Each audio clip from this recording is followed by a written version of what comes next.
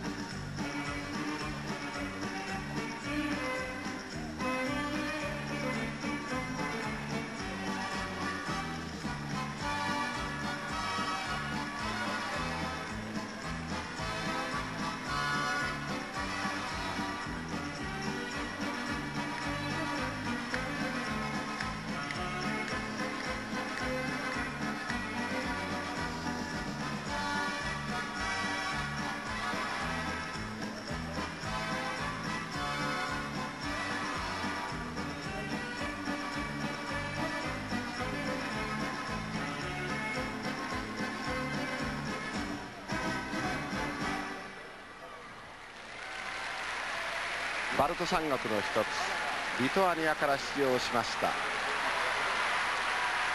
ドロビアズコ・バラガス組です。ちょっとした演出がありました。リトアニアから6人選手団というには少ない6人ですがうん、ちょっとリズムが外れてましたね。あそうですか、うん、まあ、あのソビエト時代には代表になっていない選手たちですが20歳と21歳アイスダンスとしては本当に若い選手です。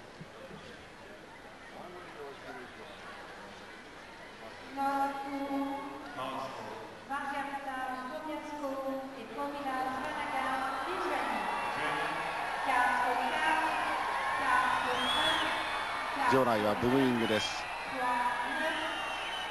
天の辛いハンガリーのジャッジは3.8をつけています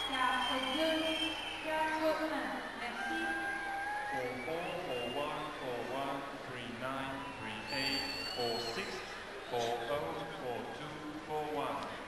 Thank you.